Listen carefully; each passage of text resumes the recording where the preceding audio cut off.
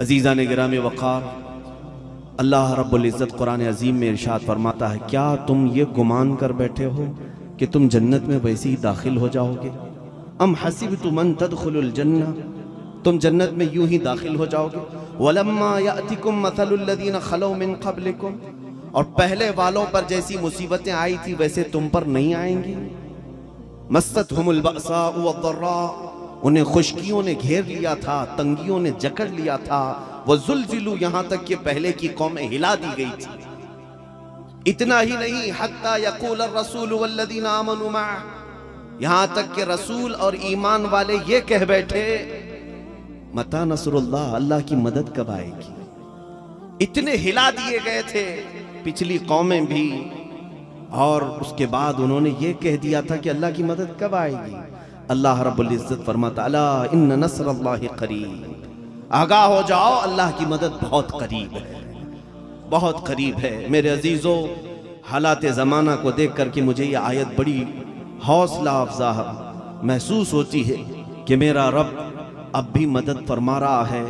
अगर रब ताला की मदद हमारे साथ ना होती तो इस तरह से हम करोड़ों के बीच में ज़ुबान बनकर जैसे बत्तीस दांतों के दरमियान रहती है नहीं रह सकते। अल्लाह रब्बुल इज़्ज़त की आज भी मदद हमारे साथ है। मेरे अजीजों, चंद बातें मैं आपके सामने यूँ अर्ज़ करना चाहूँगा, लेकिन उस मदद के मुतालिक हम सवाल करते हैं ए मौला, वो मदद क्यों नहीं आती जो तूने बदर में पाँच हज़ार फरिश्तों को उतारा था? वो मदद क्यों नहीं आती कि वो लकड़ी को ढाल बना लेते तो वो तलवार बन जाती? वो मदद क्यों नहीं आती कि वो सहाबा अंधेरे में पढ़ने के लिए मेरे आका के पास आते, उजाला नहीं होता तो लकड़ी को पकड़कर चलते, वो ट्यूबलाइट से ज़्यादा रोशनी देती। वो मदद अब क्यों नहीं आती हमारे पास? कुरान उसके मुतालिक भी कहता है चाहिए कि लोग मेरे रसूल की मुखालफत से बचें। फितना मौला फरमाता, अगर तुम इसी तरह रसूल के हुक्मों की मुखालफत करते रहोगे, अनकरीब या तो रब तुम्हें फितने में मुब्तला करेगा या दर्दनाक अजाब में गिरफ़्तार करेगा। ये दो चीज़ें, ये भी रब का वादा है। रसूल की हुक्म की मुखालफत तुम्हें अल्लाह की मदद आने से रोक देती है। ये चीज़ मैंने हकीमुल उम्मत से एक इबारत पढ़ी मुफ्ती अहमद यार खान नईमी रमत इस आयत की तशरीफ़ में फरमाते हैं ए लोगो ओहद का वो वाक़ याद करो। ओहद में हुआ क्या था? मेरे आका सल्लल्लाहु अलैहि वसल्लम अपने सहाबा के साथ गए। एक छोटा सा टीला है जिसको जबल रोमात कहते हैं। वहाँ मेरे आका सल्लल्लाहु अलैहि वसल्लम ने पचास तीरंदाज सहाबा को खड़ा किया और इर्शाद फरमाया, जब तक मैं ना कहूँ, नीचे ना तवज्जो दें इस लफ्ज पर। हुजूर सल्लल्लाहु अलैहि वसल्लम ने क्या फरमाया, जब तक मैं ना कहूँ नीचे ना आना। नीचे दूसरे दीगर सहाबा थे, सामने कुफार मुशरकिन थे। लड़ाई शुरू हुई और लड़ाई पर ईमान वाले इतने भारी हो गए कि कुफार अपनी जान बचाने को, बचाकर भागने पर उन्होंने अमन महसूस किया, सारा सामान छोड़कर भाग गए मैदान से। फिर हुआ ये कि जो सहाबा थे, वो फतह का ऐलान कर दिया और माले गनीमत वो समेटने लगे। ऊपर जो टीले पर खड़े थे सहाबा असल में लोकेशन ऐसा था उहद का कि वो सबसे बेहतरीन जगह थी कि वहाँ से वो सहाबा काफिरों पर तीर मारते थे, कोई काफिर करीब नहीं आता था हुजूर सल्लल्लाहु अलैहि वसल्लम की तरफ़। अब हुआ ये, मैं खुलासा अर्ज़ करूँगा, पूरे तफसील से वाक्य नहीं जा रहा हूँ। उस टीले पर खड़े हुए पचास तीरंदाज साहबा ने आपस में ये बात की, अब तो जंग खत्म हो गई, उतर जाना चाहिए। सारे सहाबा माले गनीमत जमा कर रहे हैं, चलो हम भी जमा कर लेते हैं। उन सहाबा इकराम में बाज सहाबा ने कहा, नहीं, जब तक मेरे आका का हुक्म नहीं आएगा, हम नहीं उतरेंगे. दीगर सहाबा ने कहा, नहीं, हुजूर पाक सल्लल्लाहु अलैहि वसल्लम के फरमाने का मकसद ये था, जब तक जंग खत्म ना हो, तब तक नहीं आना। जब तक जंग खत्म ना हो, तब तक नहीं उतरना। जंग हो गई, अब उतर जाए। चालीस सहाबा नीचे आ गए और दस सहाबा बाकी रह गए। सहाबा का वो इज्तिहाद था। चालीस ने इज्तिहाद करके ये समझा कि नीचे आ जाना चाहिए। वो माले गनीमत तकसीम करने लगे, बांटने लगे।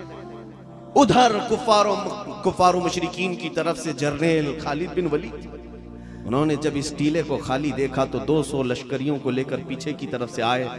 वो जो जबल रोमात पर खड़े दस सहाबा थे, उनको भी शहीद कर दिया। पूरे टीले पर कब्जा कर लिया। नीचे जो मुसलमान सहाबा माल गनीमत तकसीम कर रहे थे, आपस में बांट रहे थे, उन पर भी हमलावर हुए। और जो भागे हुए थे काफिर, उनको भी बुला लिया। उधर से कुफार फिर पलट आए, पीछे से भी हमला। इतना तेज हुआ था, इतना तेज हुआ था। कुरान में पूरे सूरह अहजाब में इसके तस्करे मौजूद है मेरे अजीजों। हत्ता के वो जीती हुई जंग, वो फतह याबी से हमकनार जंग जंग फिर शिकस्त से दो चार होना पड़ा और सत्तर सहाबा की जाने गई। सत्तर सहाबा शहीद हुए। उसी जंगे उहद में सैयदुशहदा अमीर हमजा का सीना चाक कर कलेजा छबाया गया। उसी जंग उहद में अब्दुल्ला बिन अबजहश रदी अल्लाह तु की नाक काट कर, होंठ काट कर, उंगलियाँ काट कर हार बना करके लोगों ने पहना। उसी जंग उहद में लोहे की टोपी लेकर एक काफिर ने मेरे आका करीम सल्लल्लाहु अलैहि वसल्लम के चेहरे अकदस पर मारा। जिसकी वजह से रसूल पाक के दो दंदान मुबारक शहीद हुए। मैं ये अर्ज़ करना चाहता हूँ, मेरे अजीज़ों, सत्तर सहाबा की जाने गई सैयदुलशहदा अमीर हमजा शहीद हुए, रसूल पाक सल्लल्लाहु अलैहि वसल्लम के दंदान मुबारक शहीद हुए। इतना बड़ा जो खसारा हुआ, इतना बड़ा जो नुकसान हुआ, क्यों हुआ?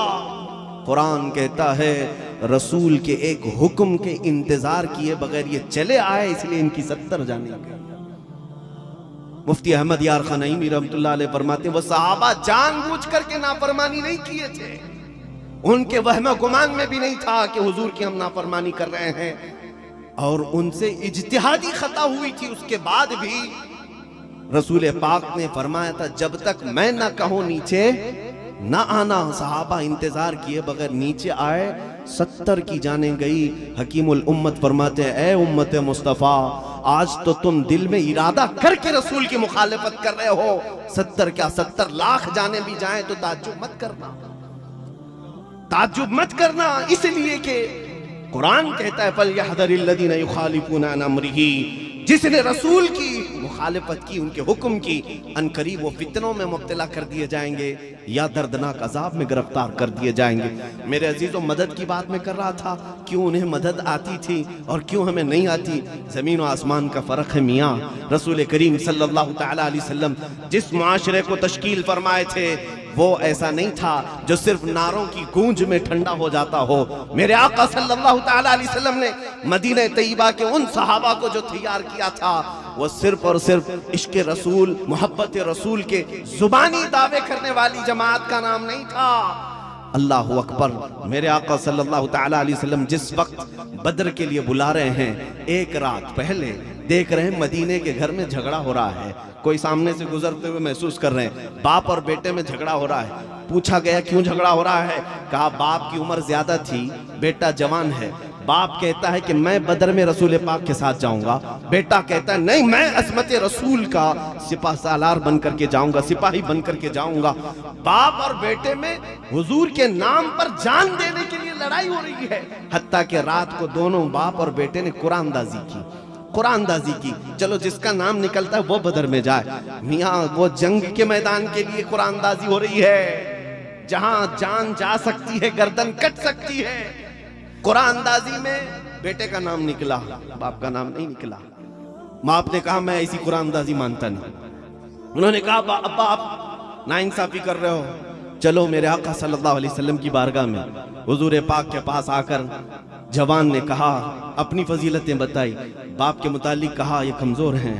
हुजूर पाक सल्लल्लाहु अलैहि वसल्लम ने ये नहीं फरमाया कि वो कमज़ोर हैं, बल्कि जवान के जज्बे शहादत को देखकर फरमाया कि बाप को चाहिए कि वो घर में इंतज़ामी उमूर को देखे, बेटा हमारे साथ चले जाए। अल्लाह अकबर, हदीस पाक में मिलता है, वो बूढ़े सहाबी जिनकी उम्र ज़्यादा हो गई थी, धाड़े मार मार करके रोने लगे ए बारे इलाहा मेरा ये बूढ़ा बुढ़ापा क्यों आया जो मुझे मेरे आका से जुदा कर दिया? मेरे नबी के साथ जाने से मुझे रोक लिया मेरा बुढ़ापा। वो जाने निछावर करने के अज़्म रखते थे। तब रब ताला की नुसरत और मदद उनके साथ आती थी। जानते हैं, बद्र हम भी गए हैं। आप में से जिसको अल्लाह तौफीक बख्शे, मदीने तयबा से बद्र का सफ़र करके देखना। आज अगर जाओगे भी तो ऐसी बस में बैठ के जाओगे। 160 किलोमीटर दूर का सफ़र करते हैं, ठंडी एसी बस में, फिर भी देखते रहते, रास्ता कट नहीं रहा है, कट नहीं रहा है। मैं महसूस करता हूँ, अल्लाह के हबीब सल्लल्लाहु अलैहि वसल्लम ने जिस वक्त मदीने तय्यबा से उन सहाबा को आवाज़ दिया 313 सहाबा, जिनमें से 313 के पास घोड़े नहीं, सिर्फ़ चार लोगों के पास। और बाकी सब पैदल चलते गए। कई लोगों के पैरों में चप्पल नहीं, और जब बदर के मैदान पहुँचे हुजूर ने उस वक्त भी कहा कि अगर तुम में से कोई जाता हो तो जाए। हज़रत मिकदाद रदी अल्लाह नु खड़े होते हैं, कहते हम बनी इसराइल नहीं जो ये कहेंगे, आप और आपके रब जा कर के लड़ें। हम तो मोहम्मद अरबी के गुलाम हैं, खून के आखिरी कतरे तक आपके साथ रहेंगे। मेरे अजीजों, बद्र में जाकर के देखें, आप क्यों मदद आई? आज हम सोच रहे ना, लोग सवाल यही करते हैं, कुरान तो वादा कर रहा है कद कामयाब हो चुके। कहाँ है मौलाना साहब? वो कामयाबी। क्या कामयाबी इसी को कहते हैं कि हमारी टोपियाँ छीन ली गई, दाढ़ियाँ काट दी गई? क्या कामयाबी इसी को कहते हैं कि कत्ल गारत का बाज़ार गर्म हो गया है? हमारी मस्जिदें पामाल की जा रही हैं, खानकाहें तबाह बर्बाद की जा रही हैं। क्या इसी को कामयाबी कहते हैं? मैं कहूँगा, नादान ज़्यादा न घबरा। कुरान ने कामयाब उन लोगों के लिए कहा है जिन्होंने अजमत मुस्तफ़ा दिल में बिठाकर अमल के मैदान में उतरने की कोशिश की है। जो ईमान कामिल के साथ आए हैं, उनको कुरान कहता है, कान हक्कन अलैना नसरुल मुमिनीन। अल्लाह फरमाता हमने तो अपने ऊपर लाजिम कर लिया है कि मदद करेंगे तो ईमान वालों की मदद करेंगे। रब का वादा है।